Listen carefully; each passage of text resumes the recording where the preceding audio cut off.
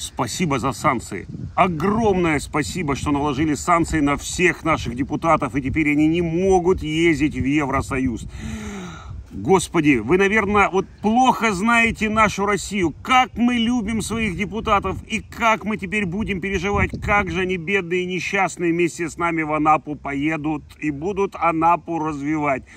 Спасибо, дорогие, за эти санкции. Спасибо компании Rolls-Royce, которая накладывает на запчасти, на запчасти для Rolls-Royce для наших олигархов. Ребята, правда, вам большое спасибо. Мы так будем страдать, что наши олигархи не смогут отремонтировать ремонтировать свою машину и придется им развивать российский автопром.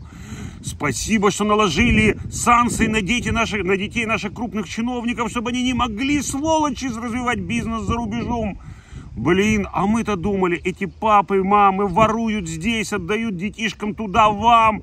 И, наверное, нам казалось, что вам это приятно воровать у нас, а теперь вы их возвращаете домой.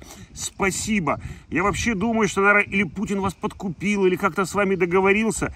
Вот вчера Путин сказал, мы не хотим восстанавливать Советский Союз. Ну, знаете, такими темпами надо восстанавливать Советский Союз. Давайте назад Эстонию, Латвию и так далее.